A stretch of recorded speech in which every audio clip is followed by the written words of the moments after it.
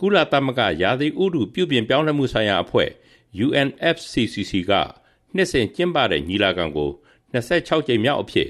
အော်တိုဘာလ31ရက်ကနေနိုဝင်ဘာလ12ရက်နေ့အထိစကော့တလန်နိုင်ငံဂလာစကိုမြို့မှာကျင်းပနေပါတယ်ခင်ဗျာဒီညီလာခံကိုတက်ရောက်ဖို့အတွက်အဖွဲ့ဝင်နိုင်ငံ192နိုင်ငံကိုဖိတ်ကြားရေးအဖွဲ့ကပြီးခဲ့တဲ့အောက်တိုဘာမှာဖိတ်ကြားခဲ့ပါတယ်ဖိတ်စာတွေကိုထုံးစံအတိုင်းနိုင်ငံတစ်ခုချင်းအလိုက် UNFCCC နဲ့ သက်ဆိုင်ရာနိုင်ငံတွေအကြားသဘောတူသတ်မှတ်ထားတဲ့ကိုယ်စားလှယ် National Focal Point ထံကိုပို့ခဲ့တယ်လို့ဆိုပါတယ်မြန်မာနိုင်ငံရဲ့ကိုယ်စားလှယ်ကတယံဇာတနဲ့ပတ်ဝန်းကျင်ထိန်းသိမ်းရေးဝန်ကြီးဌာန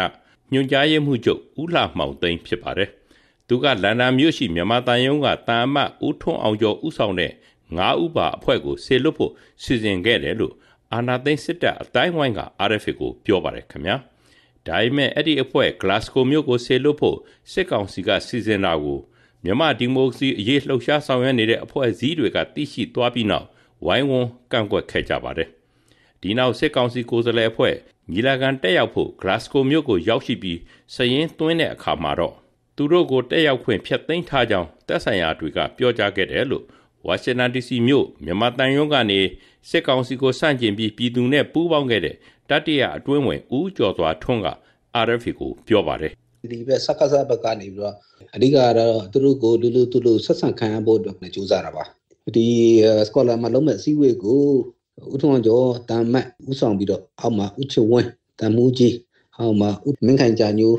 နောက်ပြီးတော့ဥကျော်မြင့်နောက်တစ်ယောက်အပါဝင်သူတို့စုစုပေါင်း9ယောက်ခီးသွားကြပါတယ်အဲ nominate လုပ်တဲ့ကြမှာလည်း UN ဘက်မှာကပါရှိလဲဆိုတော့စပြီးတော့အဲ SOP ကိုလက်ခံတာကတစ်ဖွဲ့ရှိပါတယ် နောက်ပြီးတော့မှသူတို့အဖွဲ့ကိုလက်ခံခြင်းလက်မခံခြင်းဆိုတော့ credential အရအဆုံးဖြတ်တာကတစ်ဖွဲ့ရှိပါတယ်အဲဒီချာမှာလည်းဝေဝါးစရာတွေဖြစ်သွားကြတယ်သူတို့9ယောက်ကိုစပြီးတော့ nominate လုပ်တဲ့အချိန်မှာသူတို့အတွက်ခီးသွားလာစေးဒီပညာတွေကို UN ဘက်ကနေပါသူတို့ nomination ကိုလက်ခံတဲ့အဖွဲ့ကထုတ်ပေးလိုက်တယ်တကယ်တကယ် credential အဖွဲ့အကြတော့သူတို့ရဲ့ nomination ကိုလက်မခံမနဲ့ပယ်ဖျက်လိုက်တယ်နောက်ပိုင်းမှာကျတော့သူတို့ဒီစီးပွားနဲ့ပတ်သက်ပြီးတော့တက်ရောက်ခွင့်လည်းမရဘူး ဘာမှအဆိုပြုခွင့်လည်းမရကြတော့စကောလန်ကနေပါသူတို့ပြန်ပြီးတော့တက်ခေါက်ပြန်လာခဲ့ရပါတယ်ခင်ဗျညီလာခံတက်မဲ့စစ်ကောင်စီအဖွဲ့ကိုလက်မခံဖို့ဖိအားပေးပြောဆိုခဲ့တဲ့အဖွဲ့အစည်းတွေအစိုးရတွေရဲ့အမည်စင်းကိုတော့အတိအကျမသိရသေးပါဘူးခင်ဗျာ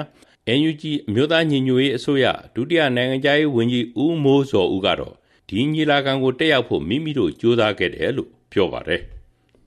ကုလသမဂ္ဂရာသီဥတုပြုပြောင်းလဲရေးဆိုင်ရာညီလာခံ ဟိုတက်ဖို့ကျွန်တော်တို့စ조사ခဲ့တာရှိပါတယ်တစ်ဖက်ကလည်းသူတို့စစ်ကောင်စီကလည်းကိုယ်တိုင်တွေလွတ်တယ်လို့သိရတယ်အဲ့တော့အခုဆုံးဖြတ်ချက်ရဆိုလို့ရှိရင်တော့စစ်ကောင်စီဘက်ကလည်းတက်ခွင့်မရဘူးပေါ့နော်ကျွန်တော်တို့ကိုယ်တိုင်တွေလည်းတက်ခွင့်မရဘူးလို့သိရပါတယ်အဲ့တော့ကျွန်တော်တို့အစိုးရအနေနဲ့ကတော့ဒါအလုံးသိတဲ့ဒါပေမဲ့ပြည်သူလူထုကိုကိုစားပြုပြီးတော့ဖွဲ့စည်းထားတဲ့အစိုးရဖြစ်တဲ့တက်ကြောင်ကုလသမဂ္ဂရဲ့တာဝန်ရှိတဲ့ပုဂ္ဂိုလ်တွေအနေနဲ့ကျွန်တော်တို့အစိုးရရဲ့ကိုစားပြုမှုကိုအတိမတ်ပြုပြီးတော့ဒီလိုမျိုးအရေးကြီးတဲ့ညီလာခံတွေမှာတက်ခွင့်ရအောင် ဆောင်ရွက်ပေးတင်တယ်လို့ထင်ပါတယ်မဟုတ်ဘူးဆိုရင်ဒီလိုမျိုးအရေးကြီးတဲ့ကိစ္စတွေမှာပါဝင်ဆွေးနွေးခွင့်မရတဲ့အတွက်ကြောင့်ကျွန်တော်တို့တိုင်းပြည်နေနဲ့လည်းအများကြီးနစ်နာမှုရှိပါတယ်ကျွန်တော်တို့ကလည်းဆက်ပြီးတော့ကျွန်တော်တို့ရဲ့ကိုစားပြုမှုရရှိအောင်ပေါ့ဒီလိုကုလသမဂ္ဂရဲ့အစည်းအဝေးတွေမှာဆက်ပြီးတော့ကိုစားပြုနိုင်အောင်စ조사တော့မှာဖြစ်ပါတယ်အခုလိုစစ်ကောင်စီအဖွဲ့ကိုတက်ရောက်ခွင့်ပိတ်ပင်ခဲ့တဲ့ဆုံးဖြတ်ချက်ကတော့မြန်မာပြည်သူတွေရဲ့အောင်ပွဲတစ်ခုဖြစ်တယ်လို့ဒုဝန်ကြီးဦးမိုးစောဦးကပြောပါတယ်ခင်ဗျာစစ်ကောင်စီ ကပြည်သူလူထုကိုကိုစားပြုတဲ့အဖွဲ့မဟုတ်တဲ့အတွက်ကြောင့်အခုလိုတယောက်ခွင့်ဖြတ်သိမ်းနေဆိုတာဒါအင်မတန်မှအမှန်ကန်တဲ့ဆုံးဖြတ်ချက်လို့ပြောလို့ရပါတယ်အခုသူတို့လည်းလိုက်ပြီးတော့ဒီကုလသမဂ္ဂနဲ့ပတ်သက်တဲ့ဒီအစည်းအဝေးတွေမှာတက်ဖို့ကြိုးစားနေတယ်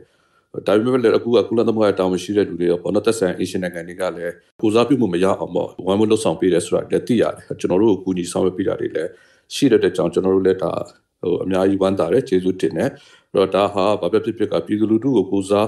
မပြုတ်တဲ့အဖွဲ့အစည်းတစ်ခုကဒီလိုအစည်းအဝေးမျိုးကိုတက်ခွင့်မရဘူးဆိုတဲ့သင်ခန်းစာကိုသူတို့ကောင်းကောင်းပေးနိုင်တာဖြစ်တဲ့ကြောင့်ဒါကျွန်တော်တို့တက်ကပြည်သူလူထုတက်ကအင်မတန်ကောင်းမွန်တဲ့အောင်မြင်မှုတစ်ခုလို့လည်းပြောလို့ရပါတယ်စစ်ကောင်စီအဖွဲ့ကိုဖိတ်ကြားခဲ့စဉ်ကကိုယ်စားလှယ်9ဦးနဲ့3ဦးအတွက်ခီးစိတ်တွေကို UNFCCC ကထုတ်ပေးခဲ့ပြီးဖြစ်တယ်လို့သိရပါတယ်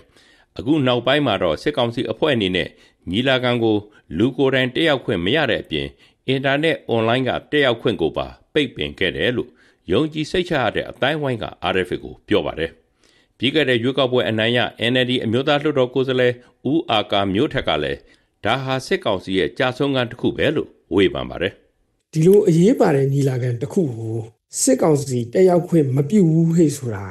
ကျွန်တော်တို့ရဲ့အရေးတော်ပုံကြီးအတွက်ကိုကျွန်တော်တို့ပြည်သူတွေအတွက်ကို